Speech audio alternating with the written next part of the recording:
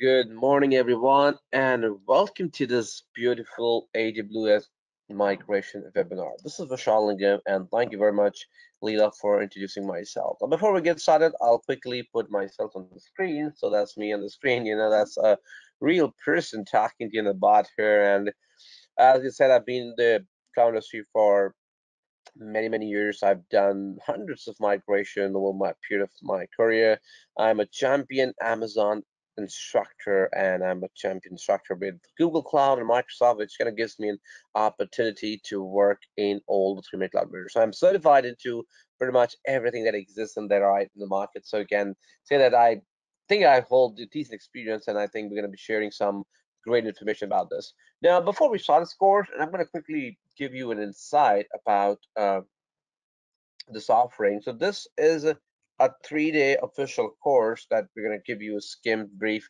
in the next two hours, probably, uh, where uh, we're going to be talking about the AWS migration strategy. And we have an official course from AWS called as Migrating to AWS, which is where you learn about different strategies. If you look at my screen here, this is the course I'm talking about, and this course is going to give you insights on how you can migrate on AWS and some of the strategies behind this, and how do we kind of put everything in that direction, like things like uh, portfolio discoveries and application migration, all those kind of objectives there. And if you do this course as a three-day offering, you understand what are different practices about it. And the question is, why do we migrate to AWS? Because the world is moving to cloud, and we want to move in the same direction. We want to move in the um, in the in the in the in the capacity that we should be able to uh, build a system that is on the AWS cloud. And that is a very, very important piece to know about. So there are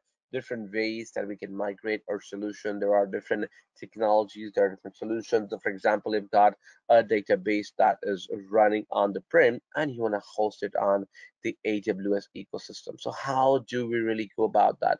What is the right process? What's the right procedure in doing that as a process. And that is something we are going to be trying and address in this small webinar there. So let me quickly come back here and start this.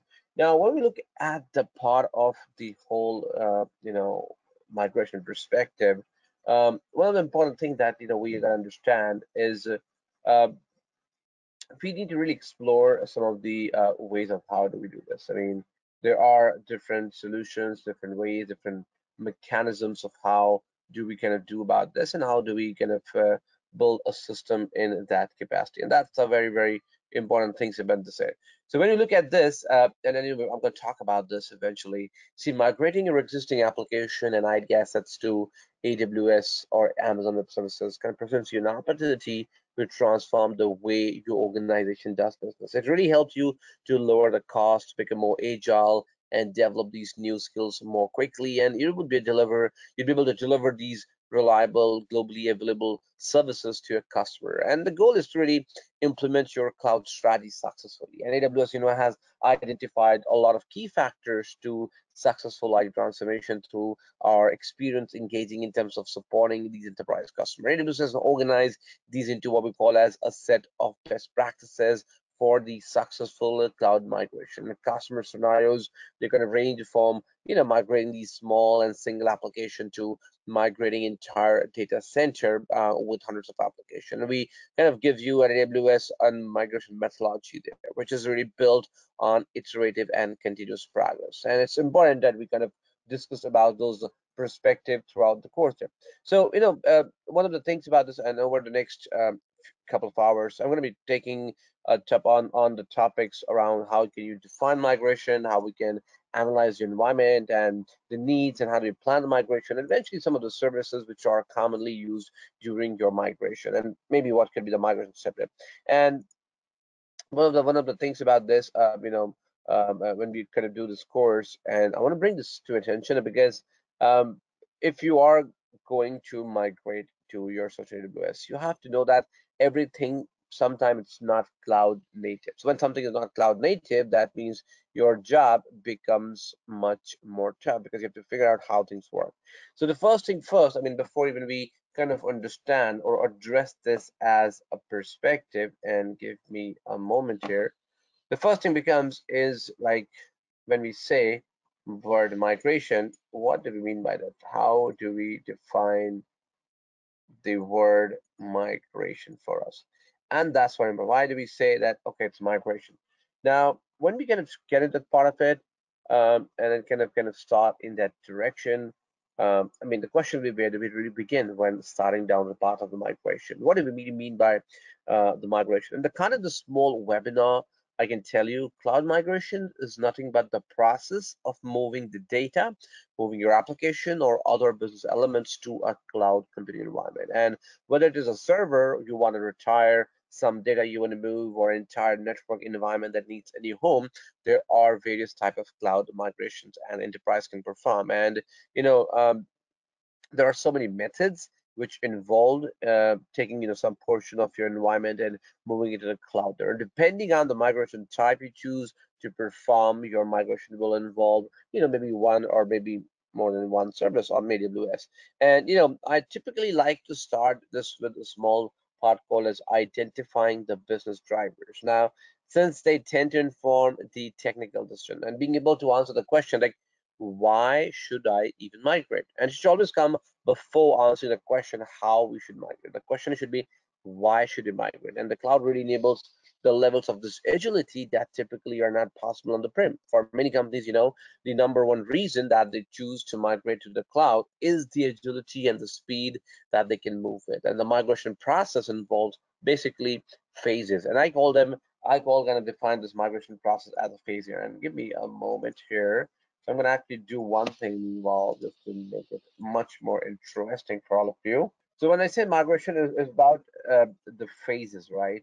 phase one belongs to um, you can say the prep so we do the preparation the migration then phase two is about um, you know um, um, and phase one i can even say that you know just not the prep but i will also the prep um, and you know our business planning so i can say that phase one before you can do anything is you have to prep and do business plan phase two i would call it more of the thing, a very important part is portfolio discovery, where you do discover the, the, the components there, right?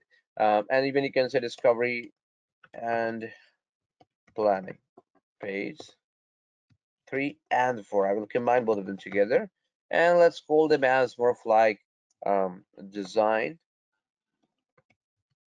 migrate, and maybe validate your application. That's the part here. And eventually, the phase number five that I would define here in terms of migration, we can call it as the phase that you operated. I mean, this is where you want to eventually do everything, right?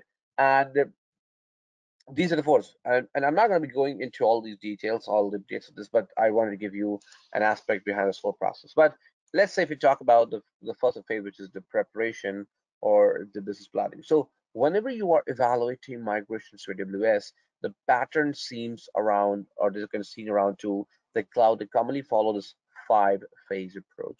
And the phases I can outline in this regard of phase one, which is a migration preparation and business planning. Phase two is portfolio discovery and planning. Phase three and four are designing, migrating, and validating your application. And finally, phase five is to operate. So if you thought, let's talk about the phase one.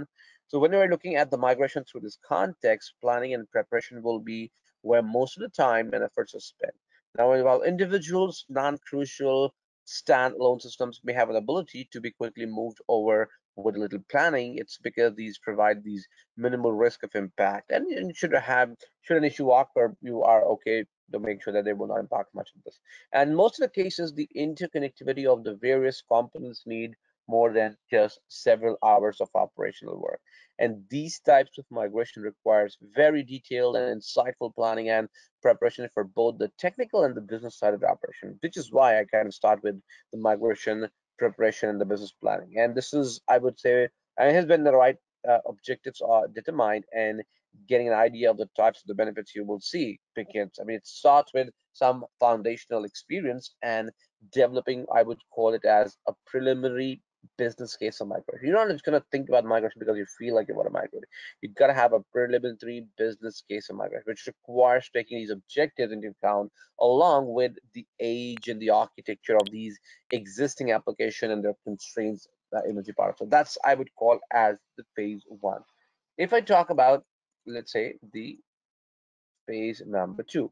Now, you know, in phase two, we need to kind of take a deeper look at our IT portfolio. And the goal of the phase two, I would call it to establish where our dependencies are between our application and begin to think about what types of migration work best for each.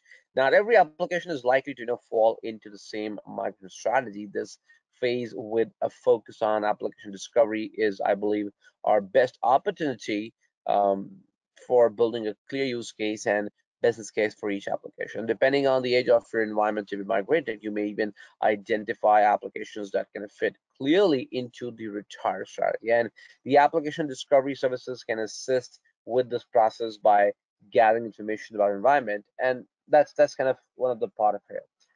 If you move to the phase number three and four, which again is important, which is phase one, it involves planning analysis. Phase two involves, uh, you know, uh, um, uh, kind of a portfolio discovery. Phase three and four, we're still planning our design, but uh, then we want to migrate and validate. And the kind of focus starts to shift from the portfolio level to the individual application level there. We're designing and migrating and validating each application. And each application is designed, it's migrated and is validated according to you know uh, one of the six common strategies or six R's of migration, which I'm going to talk about um, soon there. And from the previous phase, you know, there are a couple of things I want to specifically point out.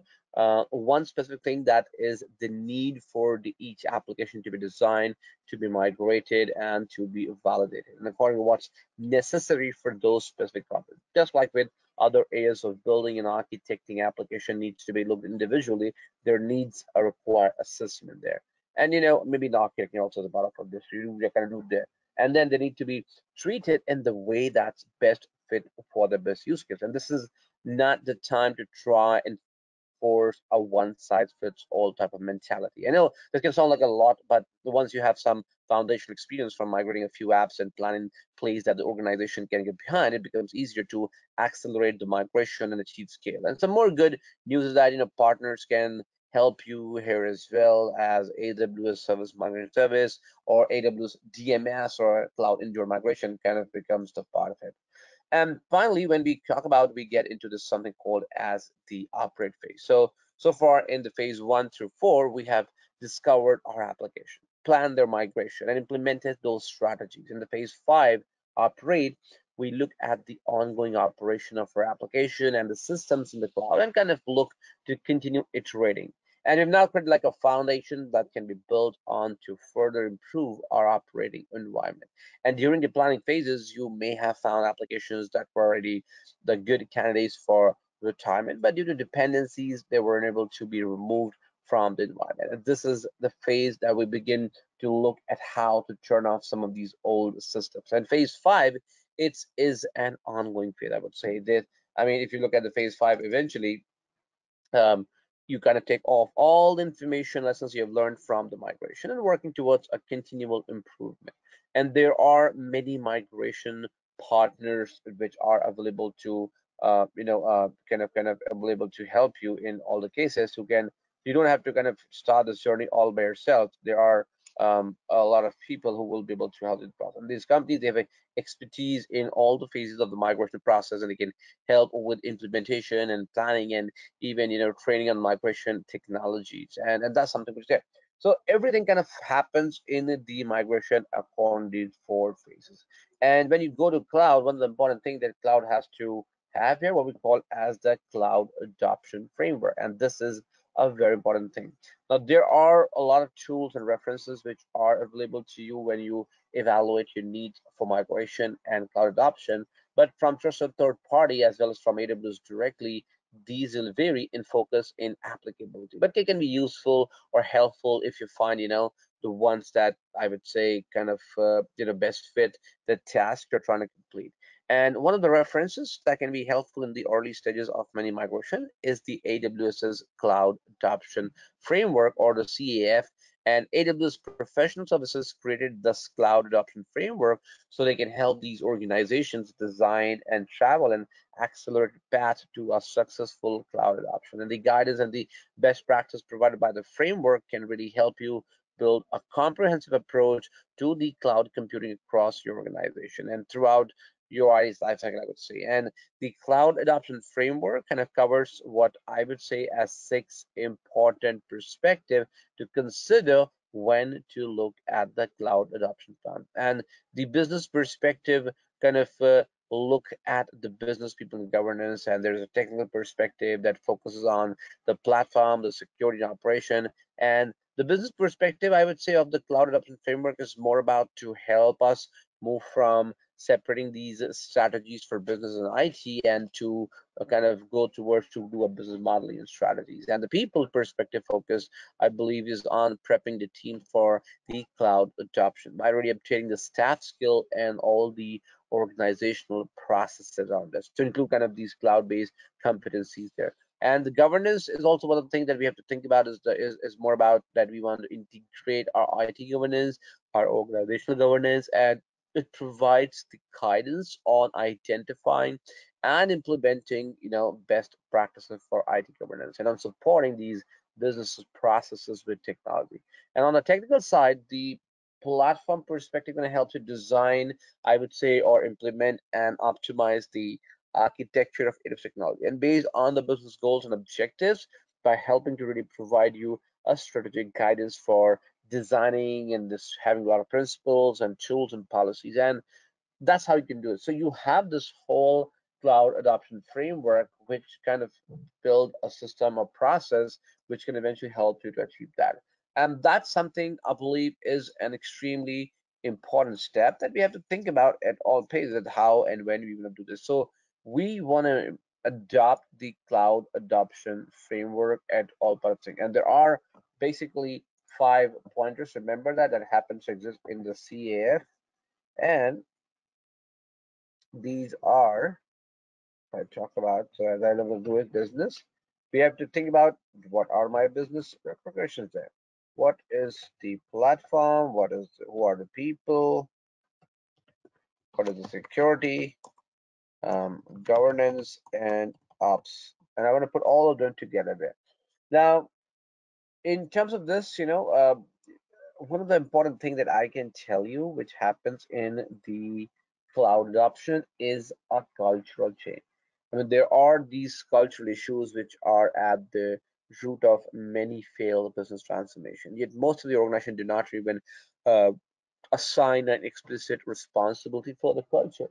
And culture is critical to cloud migration. Cloud adoption can fail to reach a maximum potential if companies do not really consider the impact of the culture to the people or maybe the process. You're trying to start with this whole journey eventually and um, just gets to go blind. I mean, we have these on-prem infrastructure, which has been historically managed by people, and even with the advance in servers virtualization, most companies have not been able to implement the level of automation that the cloud can provide. And the AWS platform provides customers the instant access to the infrastructure, to the application services through what we call as a pay-as-you-go pricing model. And we can automate the provisioning of these AWS resources using AWS Service APIs. And as a result, we have these roles and responsibilities uh, with the organization that will change as application teams take more control of the infrastructure and application services.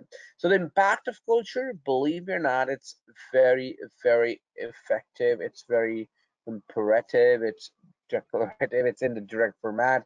So the impact of the culture is important. And the cloud and culture does not need to be a daunting or an arduous proposition. Be aware and uh, uh, an intention about the cultural changes you're looking to drive and manage the people side of the change and measure and track these cultural change there, just as you would do that with the technology. And then I remember that I have done these migration many times, and most of the times I have found in the organization if they're not uh, exposed to the cloud, that they have issues, they have problem in terms of adopting new things. And that's okay because we are humans. We don't really like changes as much as that.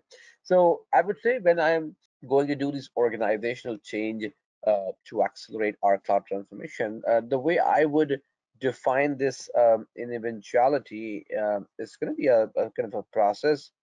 Okay, so one thing that you know I would do here initially, you know, when I when I did migrations, I'm going to tell you a, a, my, some of my experience behind the process because migration is less of tools, more about people. So what I did first is I mobilized the teams and I had to align the leaders. That means this change is critical and it will succeed because if everyone becomes a leader of a change here. So the objective is I had to confirm the sponsorship. I have to secure the resources and expertise there, form a strong coalition of leaders, build a momentum there, and eventually which will help me to form teams to lead the chain, executive sponsors, stakeholders, line leaders, PMOs or change management communication there. And I wanted to establish a program charter role. I wanted to build these guiding coalitions to which can help you to mobilize leadership, shape these program governance structure, assess and align these chain leadership. And once I'm able to do this, um, the way I define this process is uh, um, I kind of said, you know what, everyone, you all need to um, envision the future. This is what I wanted them to do is um, envision the future so that uh, they kind of start working. And then obviously I had to um, the way I would say is uh, engage the org. I mean, the whole point of vision is where we are going, and this is how we can get there together, right? So I had to articulate the vision and the roadmap for them to transition to the cloud and mobilize these realization, build commitments, create those change urgency, establish these communication there. So the uh, we, we kind of define this as like a uh, an OCM framework, which is organizational change management, which kind of guides you through these uh, how do you mobilize your people, align those leadership, and envision the future eventually, uh, or the future state of operating the cloud, which engaging your organization beyond the IT environment and allows you to have a capable capacity and making all of those changes to stick long term. So, you know, business drivers kind of becomes a lot more sense. So, which I said the first thing that if I'm starting everything, then the phase one is is more important. Everyone asking, okay, Vishal, that's all right. That sounds fantastic. How do we go about it? And I mean, number one reason customers choose to move to cloud is for the agility uh, they gain the right? And the AWS cloud provides you more than a hundred plus services uh, from compute and storage and DBs and networking to CI and CD and data analytics and artificial intelligence. And you are able to move from an idea to implementation in minutes rather than the months it can take to provision these services on the prem. And apart from the agility, uh, one more common reason customers kind of migrate to the cloud uh, is to increase their productivity or maybe to have their data centers consolidation done or have a rationalization there and prep for acquisition or something like that there. And there's always a way that you want to reduce the cost. So when we look at this, maybe I'm looking for operational cost method. Maybe I'm looking for my workforce productivity, which is like how efficiently you're able to get your services to market. You can quickly provision AWS services, which uh, you can say increases your productivity by allowing you to focus on things that make your business more different rather than spending time on the things that really don't like managing data center there. I want to maybe do something called as cost avoidance. Now, it's cost avoidance is basically a term which you would use when you are trying to set up an environment that does not create unnecessary costs. So you want to eliminate the need for the hardware refresh and maintenance program, which is a key contributor to the cost of avoidance. And the customer tells AWS that, hey, you know they're not interested in the cost and the effort required to execute these big refresh cycle or uh, have a data center renewal. They're not interested in that. And why you don't do this? Because when you're trying to do this whole process of the prep phase, you are trying to be resilient. You want to make sure that when I go to cloud, I don't have, I want to have a downtime, right? So operational resilience is reducing your organization's risk profile and the cost of risk mitigation. And there are more than you know 16 plus regions combined comprising 42 availability zones um, and and or I think more than that. We've got about I think more than that. Let's see how many zones we have. I kind of remember that. If you look at the AWS dot infrastructure, so if you leave, we've got 25 region, 81 availability zone. So we've got a global distributed there. So our operation can be resilient there. And with AWS, you can deploy your application in multiple regions around the world, which again improves your uptime, reduces your risk of cost. And once you're able to migrate to AWS, um, I've seen customers who have improved or seen improvements in their application performance and maybe have a better security. Maybe they have reduced these high severity incidents there. And that's a point which is there. And it all kind of makes your business to be a lot more agile. And when I say agile, what I'm trying to say is that we want to react quickly to these changing market conditions. So when you migrate to the AWS cloud, really helps increase your overall operational agility. You can expand into new markets, take products to to the market quickly and acquire assets that offer a competitive advantage. And you also have the flexibility to speed up the divestiture or acquisition of different line of business. So you have an opportunity to go full-fledged and kind of move from there and that becomes an extremely important aspect and you know when we do this uh, this whole journey of the processes and uh, move moving a segment one of the things that uh, kind of kind of happens to to do is what we're thinking of. So there's an impact of the culture in cloud market which is what i've said already.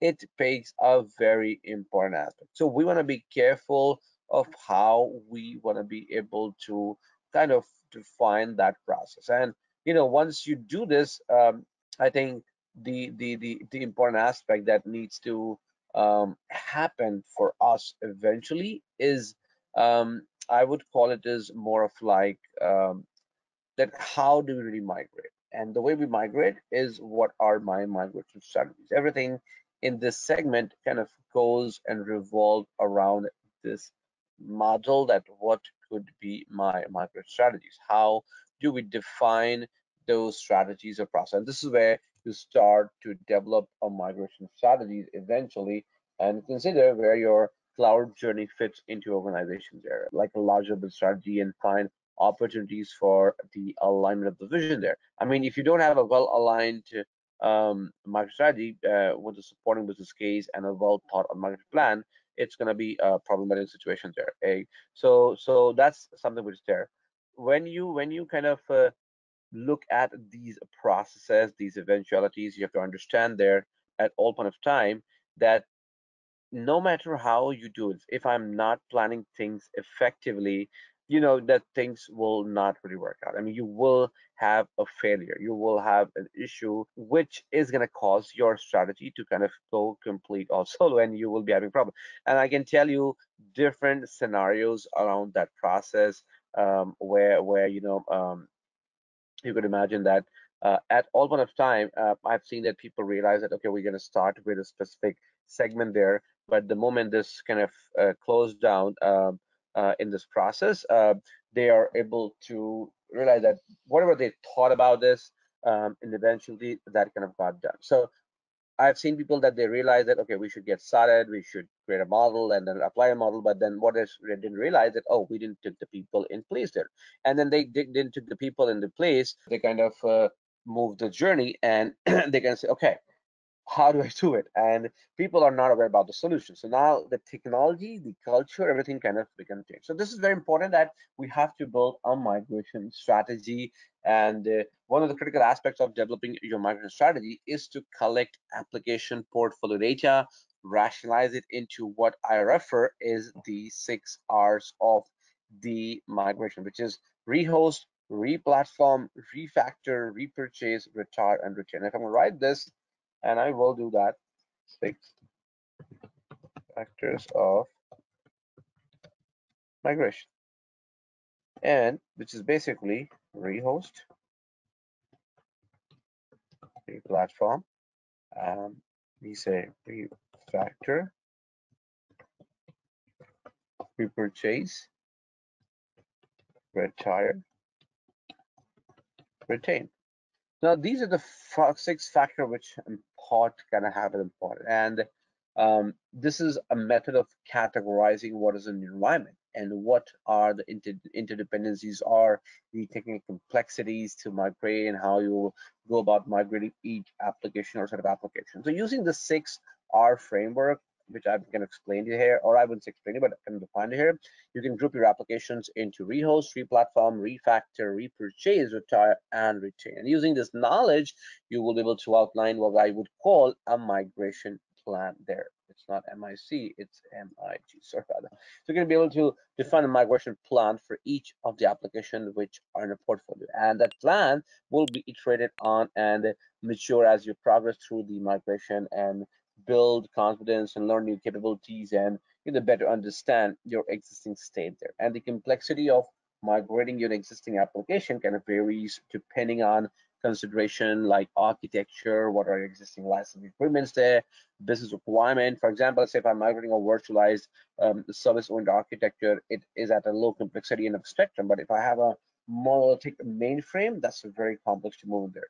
And typically you want to begin with an application on a low complexity end of the spectrum to allow for a quick win to build this team confidence and to provide a learning experience. And you also want to choose an application that has business impact there. So these strategies will really help us to build a momentum. And if we talk about the first two, let's say we talk about the rehost and the replatform, which I believe is important, you know, the way this, sorry, the whole thing would operate there, you know, um, one of the important things about Apple infrastructure, I mean, you have to evaluate uh, the areas to analyze in the portfolios and, and obviously some of the ways to discover the necessary components within our application. And you want to have a way to keep looking at those uh, kind of kind of objective behind the scene there.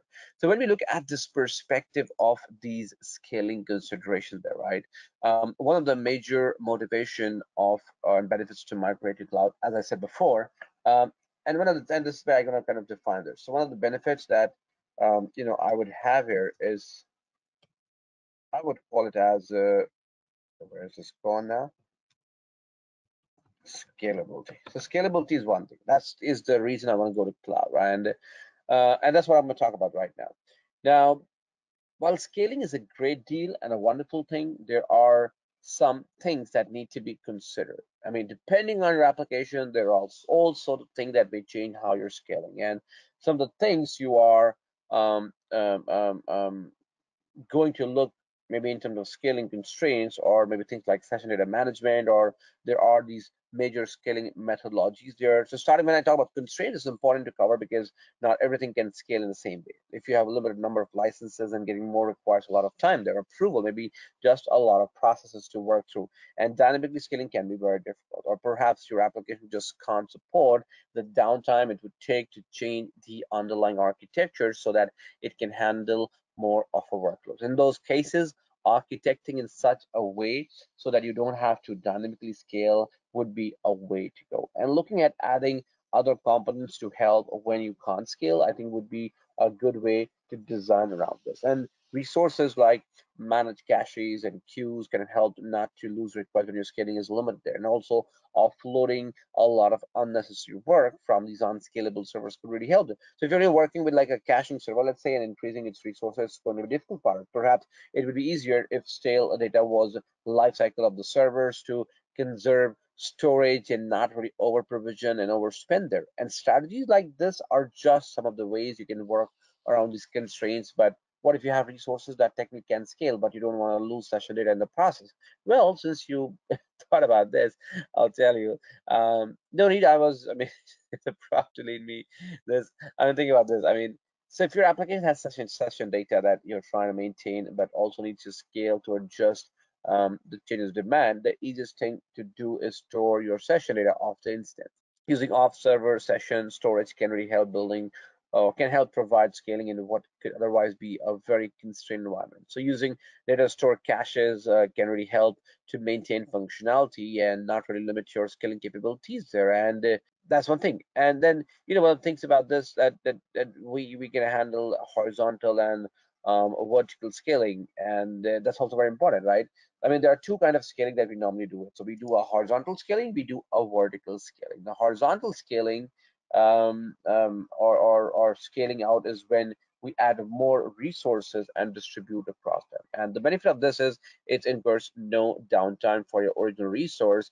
And as the load continues to grow, we can continue to add more and more resources and spread the load across them. And once your load subsides and we need less resources, like we can scale back into the original number. And this is kind of done with little to no impact to your end user there, and that's horizontal scaling. You add more resource there. And the other type of scaling is vertical scaling. With vertical scaling, you maintain the same logical resource, but you're making that resource more capable, like more power there and adding things like memory storage or compute power so that resources can handle more of the workload. So with this type of scaling or uh, you don't have to distribute requests multi across multiple because uh, you can still um, have those one logical resource and there are some limitations on those part of it which can really happen in what we do so, so we can actually um, think about think about those perspective there. And when you look at these whole restore um, rehost model, so rehost is also sometimes referred as lift and shift. And basically, you want to move applications without changes. And in large scale legacy migration organizations are looking to move quickly so they can meet their business objectives. And the majority of these applications are rehosted without implementing any cloud optimization. It could save roughly, you know, I would say 20, 30% of the cost by just rehosting. And most rehosting can be automated with tools like AWS VM import and export, and some customers they prefer to do this manually as they learn how to apply their legacy systems to this new platform. And applications are easier to optimize. They are easier to re-architect once they're already running in the cloud there, and partly because of your organization will have developed skills to do so.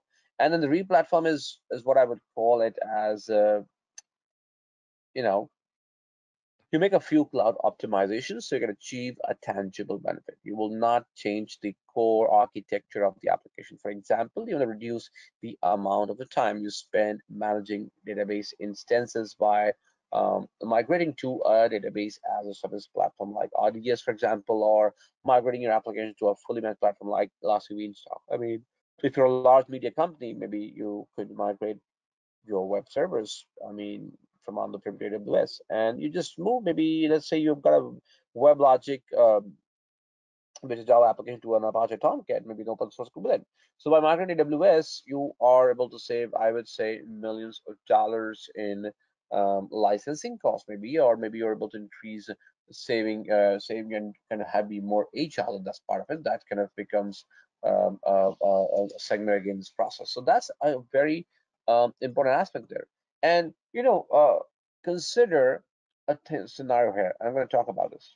Whenever you are planning for migration and evaluating the scope of what may be need to move, it quickly kind of starts to become clear that there is no single migration method for everything. And depending on the type of application or component, the specific method used for its migration is very important. And uh, I'm not really going to get into specific migration details, but I wanted to really bring up uh, is the is the importance of decoupling the migration of your DBs and data stores from your other application components. And what makes this uh, uh, such an important topic is the fact that you are dealing with the incredibly important resources of data, and the data needs to be secure, needs to be reliable, and have these varying level of accessibility. So when you're migrating applications, much of the time and energy goes into ensuring consistent or even uh, improve performance. And planning and preparation is put into being ready when the switch finally happens, and there's really any middle phase to worry about between environments. And with your data, because of this often one of the most crucial common for application environment, there may still be access requirement before, during, and even after the migration. And this is one of the reasons that database and store migration is so important to consider and plan when handling the migration. And though I'm not going to discuss again the actual migration just yet, I just want to cover um, some of the important planning analysis step there. And it's likely that a lot of questions about your DBs uh, will be well known before your migration is even a discussion. I mean, things like the size, the schema, the types of the tables, and the engine specific limitations are um, usually a topic that are regularly discussed and reviewed. And if you haven't done any other database updates or move in a while, you likely need additional research when you're looking for information about access patterns and frequencies and connectivity methods and security and object size and whatnot there. And the questions continues to grow when you start considering any change to the schema, infrastructure, or engine that might occur as a part of the migration. And this may seem like a lot, but understanding these things, I believe, would always really help you. And uh, the requirement for your DBs for a normal operations while migrating in your environment will need to be analyzed. I mean, think about this way. Are you really replacing anything about the platform for your database? Do you really know all the key parameters of your new environment? Can your app afford downtime or maybe how long can this downtime be and how much of the data needs to be migrated now versus later? And these are just some of the questions that kind of come to the surface when you start looking into the requirements. Part of this planning is also you have to understand your network. This is a very straightforward process right? You will need to know the limitations of your network. How much of your bandwidth is available for you to use? How much of your network utilization can be can your database handle in both your source and destination location? And some circumstances this can be adjusted temporarily in order to facilitate a faster migration. But in other cases you may have to figure out a way to work with what's already in place there. And keep in mind that during the migration you may be placing additional load on the db and how much of that additional load and for how long is going to depend on the migration methods? And one more area to look in is in planning your talent. I mean someone needs to know the source and the destination db engines which can be uh, multiple people if any changes are being made.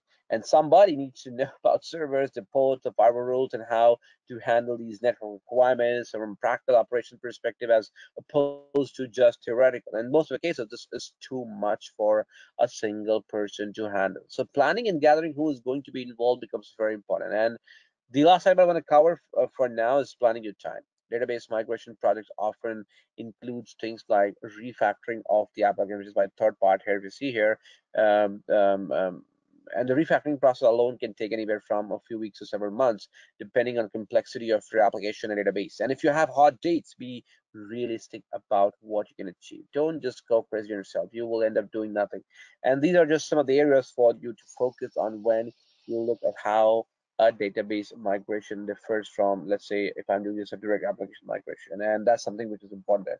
And to do this, you know, we have this beautiful service on AWS, which I'm going to quickly show you called as uh, AWS Server Migration. So if you look at this as a service, I'm sure if like uh, so many of you, you're already using virtualization, right, in your maybe current environment, and you want to let's say maintain much of your what you already built in order to move it to AWS, and this doesn't have to be something that you self-manage or build from scratch. So AWS Server Migration Service or SMS for short is a tool available for AWS specifically meant to be enabling an easier transfer of your virtual resources directly into your cloud account and SMS is an agentless service which makes it easier and faster for you to migrate up to a thousand of on-the-prem workloads to AWS. And the service kind of allows you to automate the schedule and to track these incremental replications of the live server volumes and makes it very easy for you to coordinate these small and um, large scale server migrations. And and you know, I mean, I want to share some requirements about the Unity Before service. There, there's no like prereqs, but the main requirement is that the SMS is currently only available if you're migrating a VMware vSphere or a Microsoft Hyper-V in Azure virtual machine to AWS Cloud. And you want to keep an eye on the updates to the supported source environments by checking the documentation. And one more requirement you want to be aware about is that SMS replicates your server VMs as a cloud hosted Amazon machine image that can be deployed to EC2. This does not really move VMs into function or in the area, but just convert a VM into the AMI. And one last thing I think you should be aware about, but if you are using this SMS as a service um, um, in that capacity, and you know, um, let me see. So this is my service.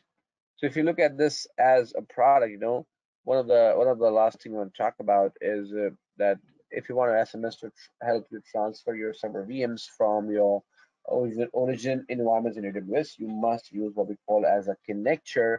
And the server migration connector is a free BSD VM that you install in your on-the-prem virtualization environment. And the connector kind of aids in the creation of appropriate permissions and network connection that allows the SMS to execute a task in your virtual environment. And once that has been completed, you are able to migrate up to 50 concurrent VMs at one go. And the SMS service talks with uh, with the, with the server migration connector, and in order to um, ease the task of migrating from the server platform, testing is also simple to automate because the migrations create EC2 AMIs, which can easily be launched and tested for verification of the successful migration. Monitoring of your migration is really made possible by CloudWatch and logging and auditing can be done through CloudTrail. And these are the great way to help with providing these continuous visibility in your migration and allowing you to set up these events and alarms based on the login tree and metric you see there, and with which you can automate actions based on the behavior. And that's also a beautiful um, service there. And remember, we spoke about a couple of times already about these discovery of the application and things like this, and that's where this new service called as Migration Hubs comes into play. Now, what happens there that, uh, well, we have a good amount of discussion, obviously, about planning your migrations and different tools that can help in the migrating your resources. One important area to bring up is the need to monitor your migration. And migrating is not just about, not just something you can set and then forget. You need a way to identify what is happening, how well it's going there, if everything is running as expected or some other thing about this. And this can all be specifically difficult if you're using uh, multiple tools across multiple AWS and partner solution. AWS for a service called AWS Migration Hub, which allows you to choose the AWS and these partner migration tools that best fit your need uh, while providing you the visibility into the status of migrations across your portfolio of the application. And this allows or this provides the ability to see the metrics and progress for individual applications, regardless of the tools being used there. And that kind of allows uh, you to quickly get progress from updates across your migration. So migration is, uh, is very important. And in order to view your assets in migration, you perform what we call as discovery using the AWS discovery tool or by migrating with an existing or integrated migration tool. And once you've performed discovery and started the migration, you can explore your environment with this hub there. And when the migration completes, Migration Hub will show you details about the resources that have been created by the migration. And for servers migrated by AWS Server Migration Service, uh, you know, Migration Hub kind of gives you the links to these AMIs, and that's kind of kind of happens to become a part of this. So it's a beautiful, beautiful scenario there, and kind of kind of do the job here, and uh, kind of kind of uh, so it's very very important at a point of time to kind of uh, get this done and kind of uh, build in a, build it up in a part of to do this, and that's um, an important thing to achieve that. In order to um, move in this direction, you have to be careful. You have to understand how this works. So you can imagine that at all of time, there are different services which can happen there. And since we talk about it, uh, migration, one of the services which can also supposed to help you is called as the database migration service. And basically, the whole objective of the service is to really help you create and um, you know um, uh, move your database databases across the partner. This is a service that helps you migrate DBs to AWS easily and securely with a database migration service. And where you have a source DB that remains fully operational during the migration and uh, minimize the downtime to the application that rely on the DB and the DMS service can migrate your data to and from the most widely used commercial and open source DB. And the service supports these homogeneous migration like Oracle to Oracle and heterogeneous migration like maybe a Microsoft SQL Server to Oracle. It's all possible there. So what I'm going to do here is I will quickly try to show you something on this process behind the scene. Um, let me see what all we can do in here. Give me a moment. Let's see if I can give you something behind this process. Okay, I think I'm in. So if you look at this, this is my AWS account that I've got just open for all of you. I hope everyone looks at the account there. Um, what I'm trying to show you, I'm not sure how much we can finish it because migration is a process, a long process, but I'm going to show you something in this process. What I will be doing here, I have this EC2 instance. I'm going to connect to that. I will configure a MySQL server as my source DB for migration. I will connect to a Aurora instance that is on the um, RDS service and try to migrate that if time allows us. I mean, everything uh, will be dependent on this. So let me try and show you a couple of things about this. And uh, uh, I'm sure everyone is aware about EC2s and RDS, and if not an EC2 is the uh, web server that provides you the compute capacity in AWS. It is designed to make these web scale cloud from easy for developers. So imagine that I have my um, database running on the prem in some kind of virtual machine. That virtual machine is PC instance, and RDS is a service on which is a fully managed service for running your databases on AWS. So for this, what I'm going to be doing here is let's go to EC2 for us.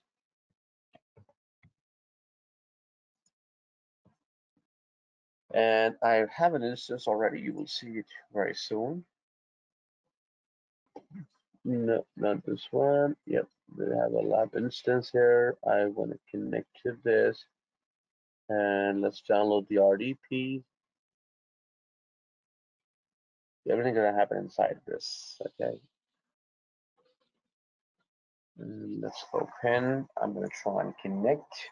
Password, I've stored the password. For some reason, it's not letting me log in. Try this one more time. If not, then I have to figure out something else. But you know what? I can actually show you what happens there. Um, so this machine, basically, I, I, was going to show you, uh, what do you say, um, an, a, a MySQL instance, which was there, right?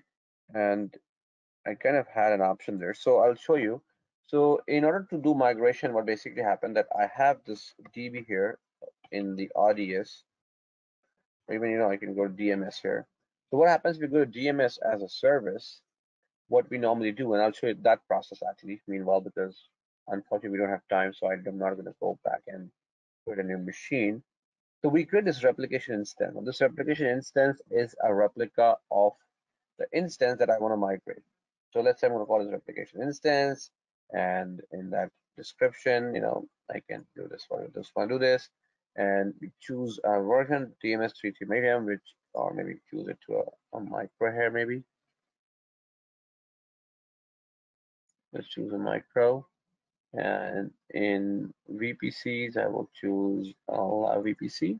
And what we're trying to do here, we're trying to create an instance that is a replica of the one that's pretty much running anywhere.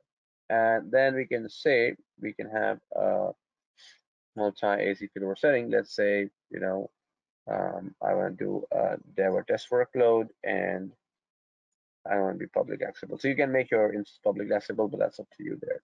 And once you do this, you create this instance here. And what you'll observe that this service is going to create an instance for me.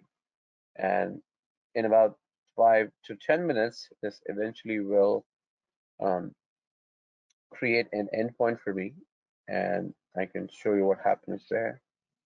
And once I have this endpoint done, so basically I will use an application called a SQL Workbench, which is a SQL tool for data migration. And I can leverage this tool to kind of get my job done. So this again is a is a beautiful segment and uh, this kind of happens to help you. This instance, once it's done, I'm gonna show you in a moment there what happens uh, as a process. So that this can happen meanwhile. So I think this is, that we're gonna have let this happen there. So once this is done, I'm gonna show you how we kind of create an instance. So Let's say I already have a backup of um, a SQL server that's running on the prem or whichever the place there. I use that and I create a replication instance with this DMS service. And from the service, I will actually use uh, and use that other instance as a replica. And that's the whole beauty behind this process. So you can always look at this. So what happens there when you're trying to do this process? There are a couple of things you want to do, I mean, uh, you want to be careful about. And one thing I would say uh, in this stage is security. I mean, uh, while this isn't a security specific webinar, security should always be considered, I would say, whether you are building a multi-tiered um, globally access application or you're discussing migration with your uh, maybe, you know, environments like we're here. Security needs to have always have a place in the conversation. And with the migration discussion, I think our talking points are not really different from many of the topics that would normally be covered. I mean, my focus is uh, will likely be things that you've heard before, um, like protecting your data in the transit and at the rest, because when I'm doing kind of migration, you know, my data will be moving. So how do I ensure my data is protected at the rest and transit? And these may not be new topics or maybe new, it's important to understand them in the context of if I have a multi-environment communication. Right now we have a multi-environment communication. One environment is um, on the prem, could be anywhere else, and the environment is AWS. And you have to secure data in the transit. And your goal should be to make sure that you can communicate easily between environments and protect the data. And this is where you try to reduce the risk of these unauthorized exposure by defining and enforcing requirements and implementing controls. And you definitely want to make sure you have defined data protection in trans requirements and I believe encryption standards based on the data classification to meet your organizational or legal or maybe compliance requirement. And also enforce your defined encryption standards to ensure that meeting these requirements is not optional. Additionally, you also want to ensure that there are tools and controls in places to help you with enforcement of the standards, which I think will go a long way towards helping you stay secure and travel. And the first and one of the easiest thing I think you can do is use authenticated network communication protocols. Use IPsec channels and transport layer security or TLS to kind of encrypt in transit, which will go a long way to reduce the risk of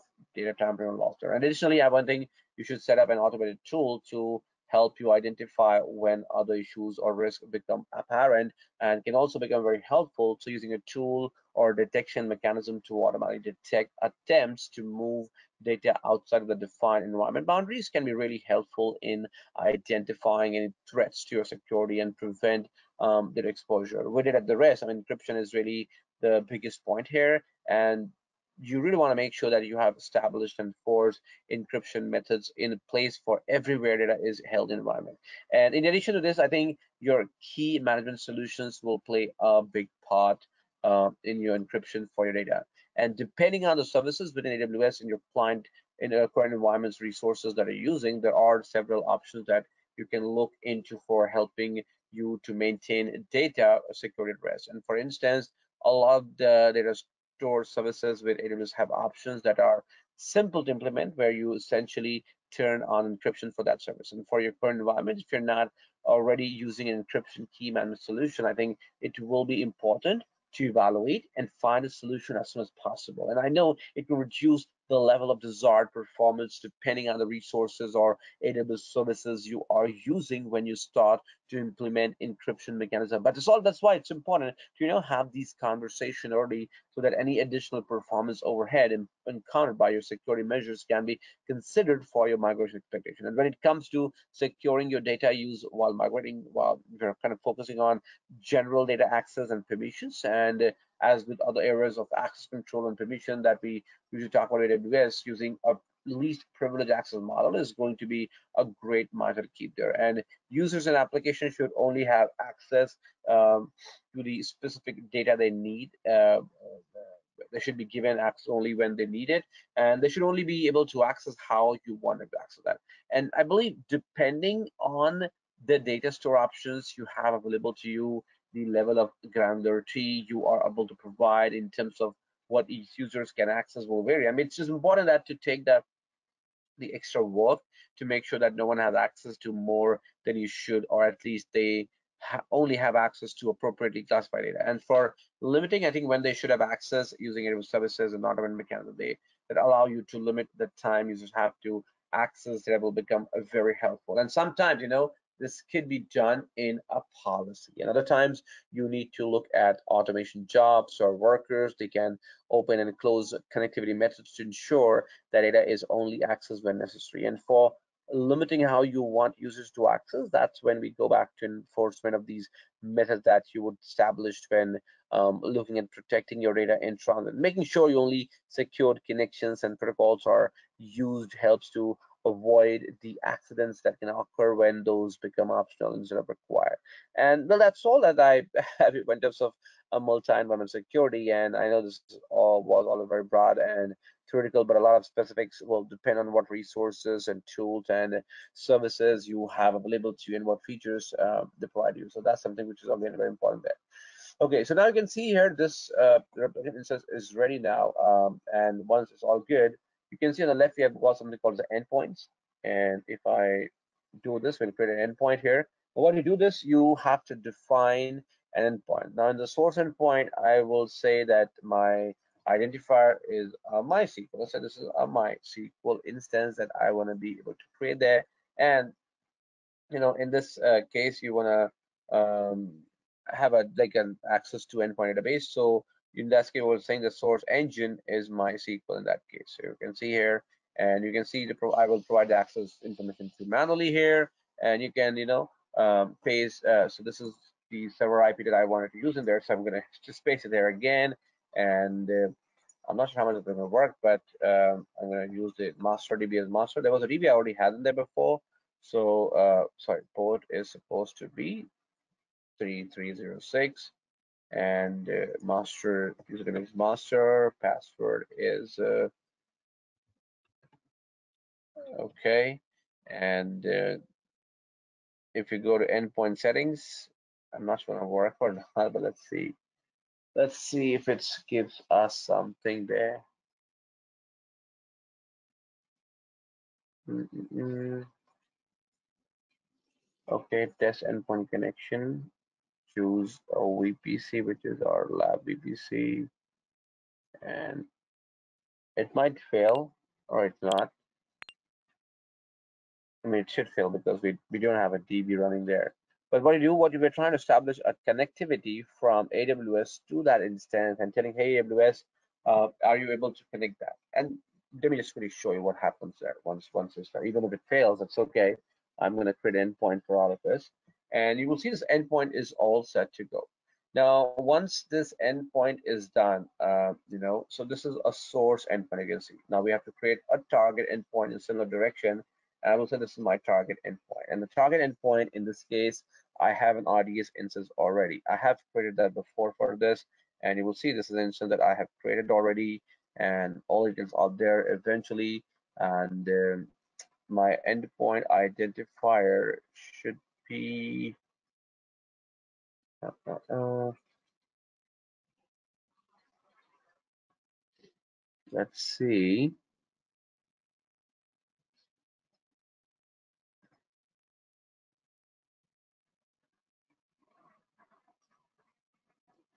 Why why why why? Manually I want to give it. Yes. Please take information manually. I already have the information in my notepad. I'm just trying to figure out which is there yeah so identifier here should be Aurora and the rest all the information looks fine to me.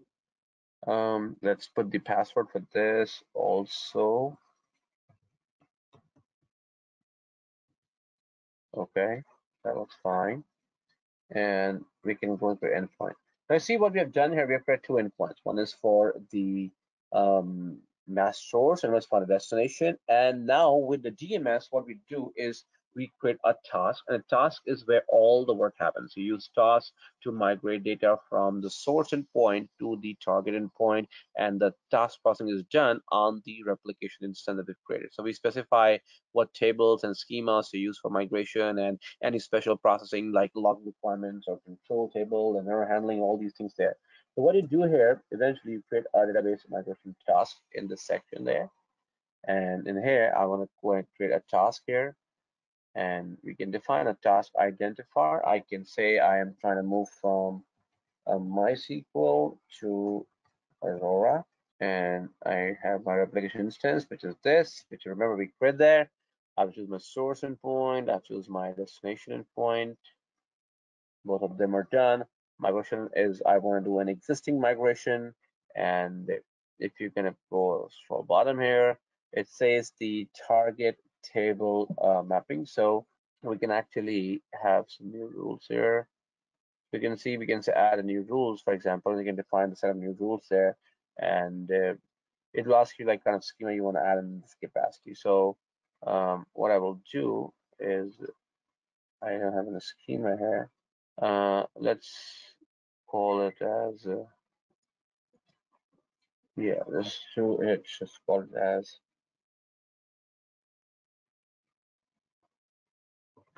delete just for example and things like I wish I would have had the access to that there and I think that's okay I just want to show it there so it looks fine here and what I'm gonna do is just go ahead and create a task here now what we'll do here what you'll see here um, it's gonna as you can see this is in the creating state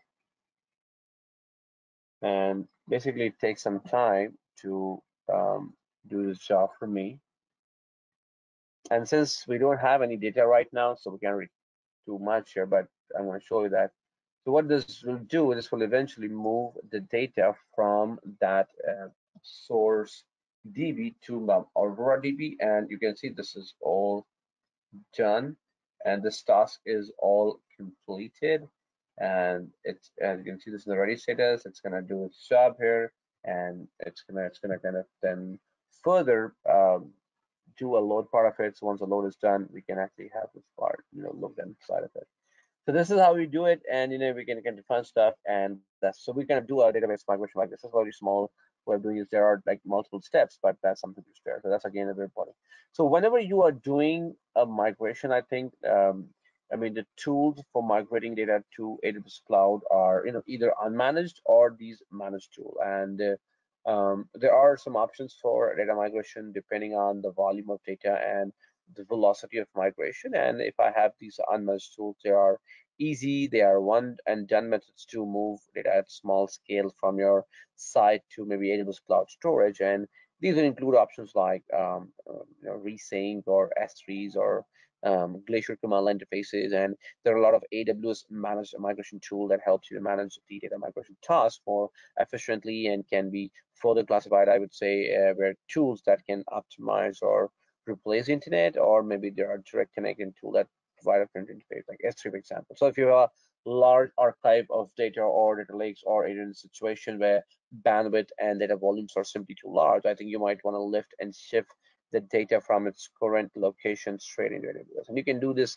either by using a dedicated network connection or to accelerate uh, these network transfer or by physically transferring the data or you know using Snowball if your data stores can gradually migrate over time, or maybe when the new data is coming from many different cloud sources. So consider these methods that provide a fully interface to S3.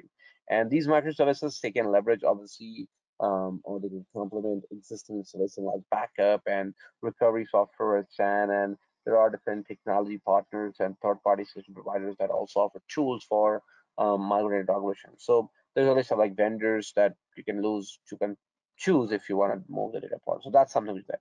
So this is how we can, if you know, uh, you can say uh, in eventuality we can migrate uh, to this process. And obviously everything kind of at this moment is is all about this segment, and we can kind of job here. So that's the DMS, that's the service, that's how we use there. And uh, I think that's pretty much it I wanted to discuss in this segment here. We'll take a now uh, short break here I'm going to come back after the break and we will then proceed with the next thing for all of you. All right. And I'm going to talk about a couple of more things uh, in eventuality and we will move further. All right. So in the last part for the webinar, we were able to kind of see how DMS as a service could operate, right? And that was something which is fantastic. And now um, I want to talk something on further on the capacity where we had these three offerings. You can see, uh, you can really see that we had the re-hosting, re-platform, and there was refactoring. If we consider refactoring, um, refactoring is, oh, sorry, it's also a mechanism of reimagining how the application is architected and developed using these cloud native features. And this is kind of driven by a strong business need to add features and scale and performance that would otherwise be difficult to achieve in the application's existing environment. And if you're looking to, you know, migrate, let's say, from a monolithic architecture to a service-oriented architecture to boost agility or improve business continuity, I think this strategy tends to be most expensive, but it can also be the most beneficial if you have a good product market fit. And then we have these risks, what we call repurchase. Now, repurchase is basically you move from a perpetual license to a SaaS model, a software service model. For example, you move from a customer or CRM basically to a Salesforce.com and HR system to Workday, or maybe CMS to Drupal there. That's one thing there. Then you have this retire. So retire is all about removing applications that are no longer needed. And once you've completed discovery for your environment, you want to ask who owns each application as much as about 20, 10 to 20% of an enterprise IT portfolio is no longer useful and it can be returned off. And these savings can boost your business case and direct your team's attention to the application people use and you know maybe reduce the number of application you have to secure there. And finally, there is the retain, uh, which is referred as revisit. So you want to keep applications that are like, let's say, critical to your business for the business, but that require major refactoring before they can migrate it. So you can revisit all those applications that fall in this category maybe at a later point in time. So choosing a right migration strategy depends on your business drivers for cloud adoption as well as time consideration, business and financial constraints, and maybe the resource requirements. And replatform is something which is great if you're migrating for cost avoidance and and to eliminate the need for a hardware refresh. And I mean, there are different aspects. If I look at retire, is uh, if I do look at let's say retain, for example, let's go top down or bottom up. Um, retain, you know, the effort is less. There's no opportunity to optimize because you're retaining everything. You're just just not doing anything. Rehosting, the effort is a lot because you're going to rehost everything. Opportunity to optimize will be less in that case because you are kind of just moving assets there. Repurchase is like you will have to put a lot of effort and then you're not going to get a benefit there. But replatforming is where you have effort and the benefit same. And if I do a re-architecting, the efforts kind of become the the maximum, but then you can actually um, get the best benefit. So consider, I would say, a phased approach to migrating application and prioritizing these business functionality in the first phase, or then attempting to do it all in one step. And in next phase, um, you can optimize application where the AWS platform can make a notable difference in the cost and the performance and productivity.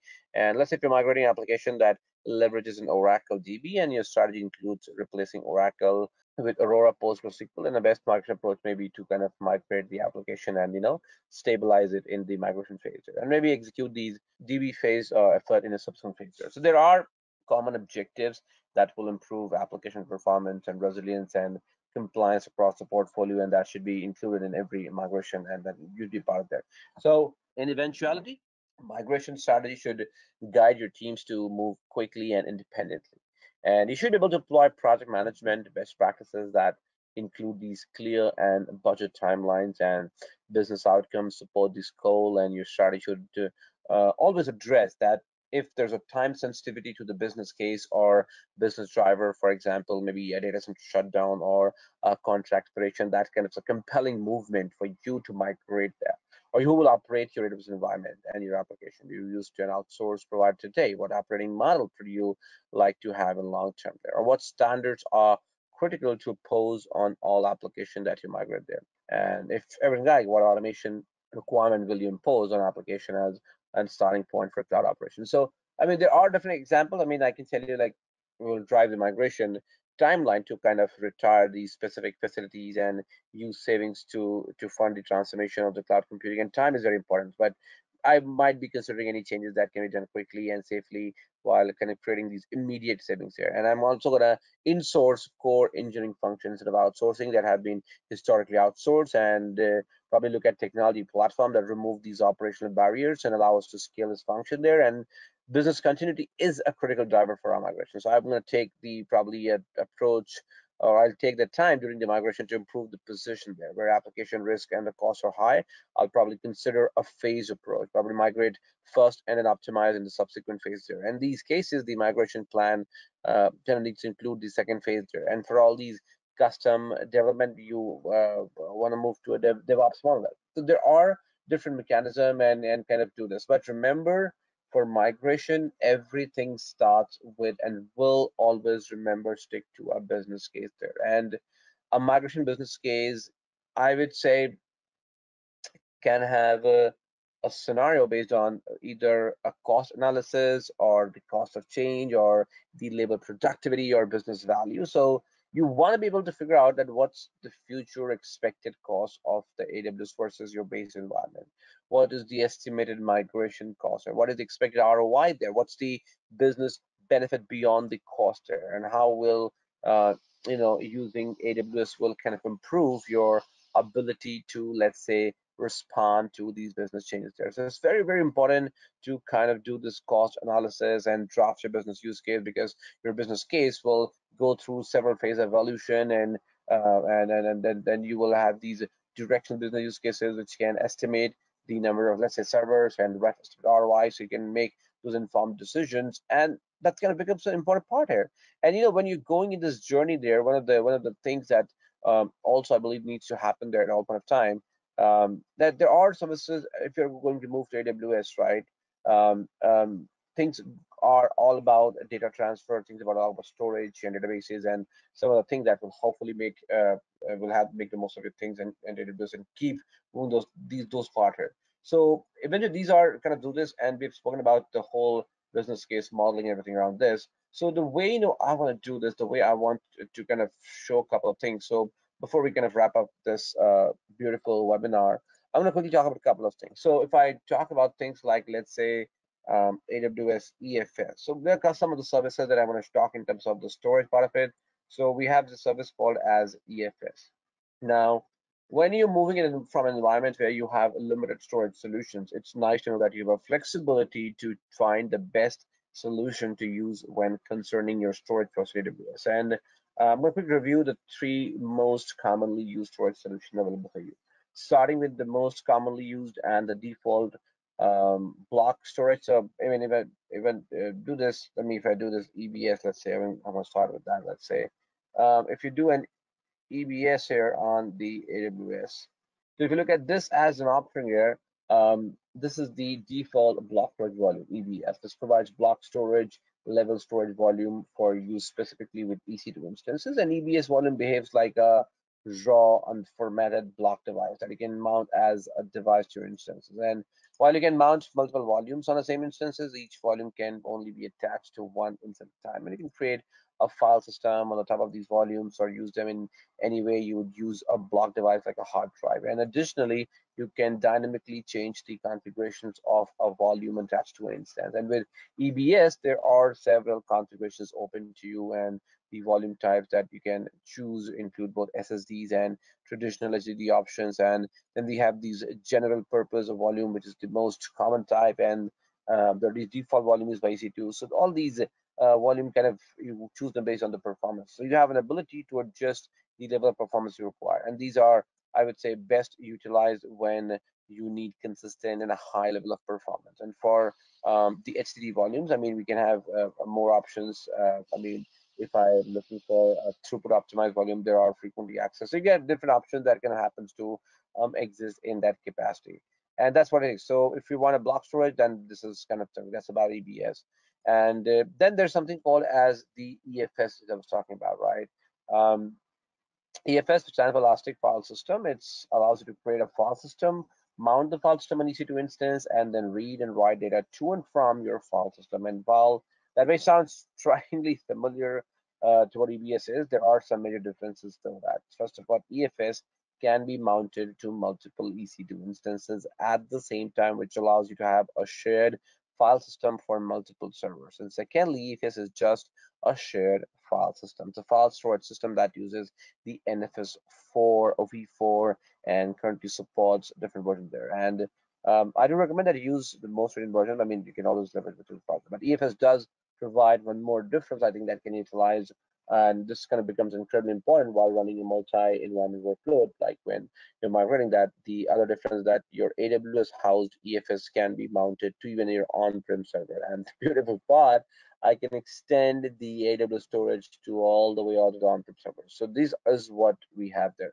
And also you know when since we're talking about storage how can we miss the service called as s3 uh, which i'm sure everyone is aware about this. So s3 is again a object storage system that was intentionally built with a minimal feature set that kind of focuses on simplicity and robustness. And to use all as features you do is create a bucket, which is a container for all your objects, and then start loading in the objects. And the objects are the fundamental entities stored in S3, which consists of the object data and metadata. While the object data is opaque to S3, the metadata is a set of kind of a name value pair that describe the object. In S3, in S3, once you've created the bucket, you can work with objects either through API or console. And S3 is a natively internet-based service, meaning that access is provided through internet accessible endpoint, which does not mean that there's any loss or compromise on how secure that is. But you're gonna do this process. So you always have an opportunity to kind of build a solution around this as a processor. Then you know one of the one of the beautiful service that AWS kind of offers you uh, is storage gateway. You have something called as storage gateway. Now there are times, you know, when during a migration or just want to have AWS cloud back storage for your on-prem resources, you need to be able to connect across environments. And AWS Storage Gateway kind of utilizes a virtual machine over a VM image in your on-prem environment that securely connects to the gateway endpoints with AWS. And this allows you to connect your local storage resources to AWS cloud and allows you to add availability and fault tolerance and even scalability to your storage mechanism. So for solution storage gateway kind of offers a file-based or a volume-based and tape-based option. We've got three different kind of option with the storage gateway, which can happen to exist there.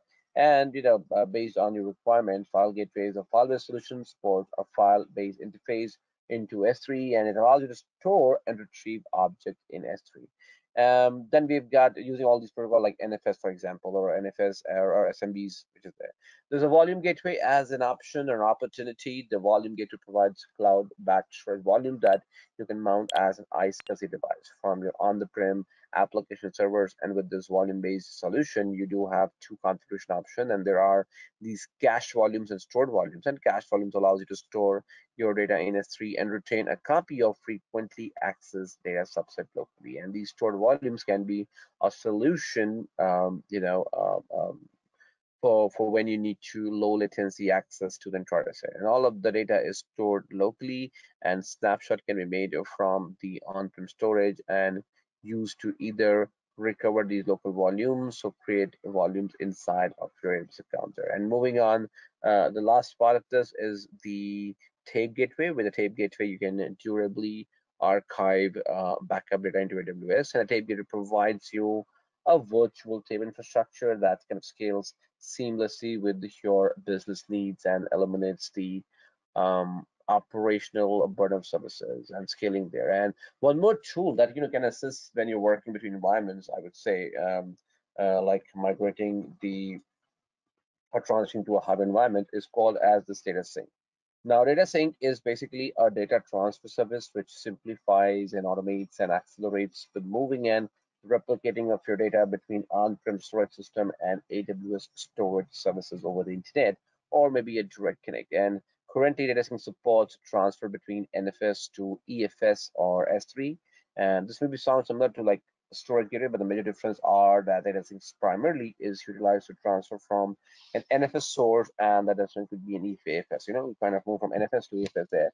And similar to storage gateway, DataSync uses an agent, which is a virtual machine that is used to read or write data from an on-prem storage system. And the agent is deployed on a VMware ESXi server, or maybe you can use a DataSync management console and then activate your agent there. And with these tools, hopefully you have some additional ideas of how you can really manage data transfer and access across an environment and kind of can do a job there. So this is something you want to be um, able to do this and kind of do this part of it. And that's, I believe, is is uh, uh, an aspect.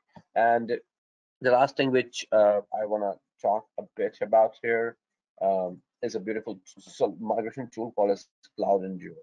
So if you look for something called as CloudEndure is a beautiful solution there. I mean, one of the toolbox that can help you with migration is CloudEndure. It's actually a little misleading to call CloudEndure a tool. It's more of like a fine-tuned machine that enables a machine a much easier end-to-end migration uh, to AWS. And CloudEndure migration simplifies and expedites and automates these large scale migrations from a physical, virtual, and a cloud-based infrastructure to AWS. And it automatically converts any application running on supported operating systems, which allow to have a full functionality in AWS without compatibility issues. And then there is continuous data replication that takes place in the background without um, application disruption or performance impact, which ensures that the data is synced in real time and kind of minimizes the kind of windows. And when migration of was initiated, you know, CloudEndure kind of executes what we call as a highly automated machine conversion and an orchestration process and allows even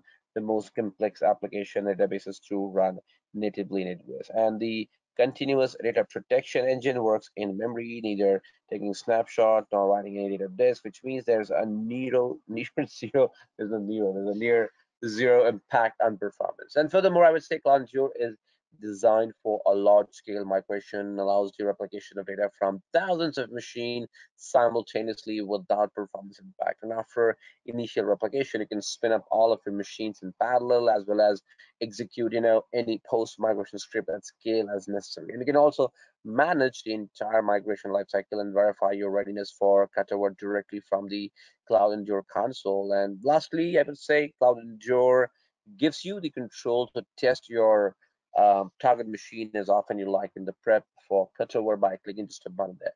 And it kind of provides you with an ability to quickly and easily shift your environment to AWS from your existing physical or virtual data center and provide and it gives you private clouds or other public clouds and you know we can see that while you can work on migrating your environments yourself using the tools and creating your own application and automation scripts to kind of handle environment transfer tools look like Antwerk and makes it very easy for a whole process. This is again, and it's one of the, you know, a very primary tool uh, in this process there. And, you know, um, as we have seen in the last couple of hours, there are, I mean, number of tasks that you'll need to perform in order to plan and prepare and perform your migration. And the good is that you don't have to do it alone there is something called as the AWS MAP, which is a migration acceleration program. Uh, it is designed to help enterprises which are committed to a migration journey, and MAP was created to provide consulting support, training, and service credits. And the goal is to reduce any associated risk with migrating to the cloud to build a strong foundation for the operations and to help offset the initial cost and the program includes guidance and methodologies for migrating these legacy systems as well as a suite of automation tools to help speed up more common migration scenarios. And AWS also kind of maintains what we call the partner competency program, competency program, which allows companies in our partner network to demonstrate and prove their expertise in areas like migration. And successful completion of a migration can be aided by leveraging the knowledge or uh, the tools of migration partner solutions. And there are several different types of partners that can assist with your migration. So migration delivery partners, they are able to help with every stage of migration and including like getting hands-on and then we have these migration consulting partners which can you know uh, provide expertise and training to help these enterprises quickly you know develop uh, specific capabilities or achieve these specific outcomes and Migration technology partners are also which provides these tooling and automation to um, to you can say um, um, to help with all the phases of the migration journey, which is important. And migration isn't likely to be something that you tackle completely on your own, right? When it comes to migration, the best approach I think is to leverage all the tools and experience at the disposal, and that's something which is there. So that's something which this whole uh, thing has to uh, webinar has to cover about this. And as you know, we can run close to the end on this webinar on migration. I want to take a moment to quickly review the application migration types. So what we kind of quickly covered in this webinar, as we frequently call them the six R, and they consist of rehost, replatform, repurchase, refactor, retire, and retain. And starting with retain, this focuses on identifying components that are either not ready or not necessary to migrate. And oftentimes when retaining will be used, it is important to consider have and how your migrated infrastructure and your retained infrastructure will need to communicate and then set up the appropriate and secure channels to do so with retire you still need to identify what components may need to be migrated but for the purpose of evaluating what will not be needed by both the migrated environments and as well as the um, as well as any retained components. And once the evaluation is completed, I think the unnecessary pieces are eliminated and the applicable components are migrated. And with refactoring, I also see as uh, as in re-architecting, you look not only at what needs to be migrated, but also at how that particular application might be re-architected to better utilize the advantages provided by the AWS cloud. The shifting from a traditional architecture to a service-oriented architecture, for example, could be one of the way that you would refactor your application to move into the cloud. And then repurchase, replatform, and rehost are very similar, but of course, they have their minor differences. With rehost, you were looking at close as like one to one migration is possible in this case, you're looking to move quickly with minimal changes with the replatform. You're still looking at a similar move, but also kind of considering what might provide a small and easy optimization to your performance or usability. And for example, maybe replacing a server um, you know, running a DB engine with a RDS instance. This could make your database users a bit easier and maintain or improve performance. And with repurchase, you're looking at places like Marketplace for ready to run services configured for the cloud that will kind of get you features that you are looking for without requiring you to custom build a solution. And something that might fit into this category would be purchasing a firewall from a marketplace instead of trying to import, you know, or configure your own EC2 instance over the you know part of it.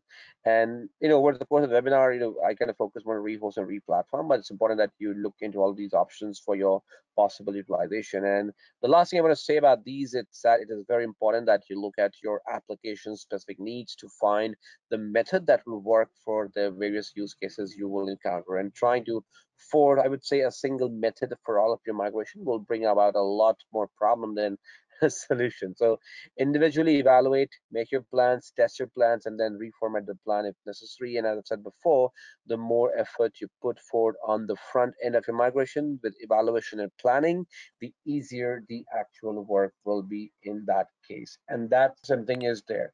And that pretty much brings us to the end of this beautiful webinar. And I want to thank you all again for listening me. And I hope you were able to add some value here. So Leela, over to you now again. Wonderful. Thank you so much. Okay, so then we will jump right into the questions. We have a lot of questions today. Yeah, I'm going to bring that uh, thing for all of you. So this is one quick thing, everyone, uh, and just wanted to share a couple of things from this last perspective. So as you all have been a part of this class and we all understand that Netcom is a leading partner, uh, leading vendor in terms of the, uh, you know, uh, building learning solution there. And with Netcom, we've got about 100,000 professionals trained, and there are about 40k plus corpus clients. So we've got a huge experience behind this journey there. And in order for you to move forward in this journey, obviously you want to be looking forward what is the right path there. This is the right path that you can look at this. That AWS gives you a learning path here where you can start from the technical essential as a course, and you can move all the way to become a solution architect associate or a professional. And you can look at the journey behind the scene. It's pretty extensive. You're going to be knowing a lot of stuff around there. And from this perspective, you know, um, these are some of the recommended course that you can always opt for and kind of look in this direction, which again will be something uh, great on your side of it. So you can look at these recommended course and marketing asset. And um, I think Leela will be sharing these this with, with the participants, right? or this size. So you can always look at um, these as a collaterals and kind of understood them and some of the latest new webinars that are coming for us as you can look again on the slide some beautiful webinars if something interests you apart from being a cloud ops i think you should go for that um, eventually and i think aws is the future of everything i think everything today in the world is kind of hoping aws so if you kind of uh, click on this url it will be taking you to the courses on the AWS side, and you can see this kind of gives you all the necessary options that um, in on the uh, Netcom side. So you can look at all these course offering that Netcom provides in AWS. Um, so if you look at that, we kind of did the migration here, and if I can just look on the to migration side, we have the migration course listed there. Um, I think we don't have it here. But you know, one thing I can tell you uh, before we kind of uh, get back to Leela that AWS is the hottest thing in the market right now. I mean, I'm a guy who does it pretty much day in day out, so you can imagine this kind of make, makes a lot of more difference there.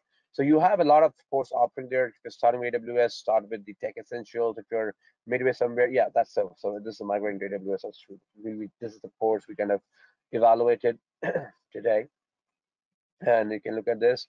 Uh, this is more of like a high level introduction. We did it here, and then we've got a lot of other webinars kind of coming there. So you can always look at these set of course offerings, see what can make sense for you, and based on that, you can choose. And over to back you again. Thank you so much. Yeah, I just wanted to make sure we had those covered.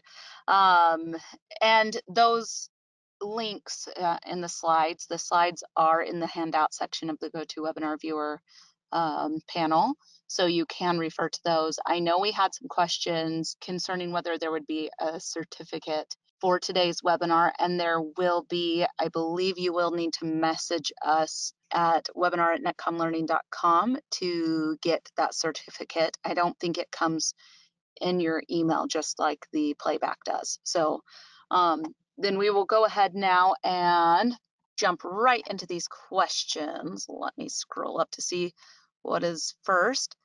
Um, so they wanted to ask if the slide deck was available. Yes, we did answer that. Um, somebody's asking, will AWS be a good career path in the coming future?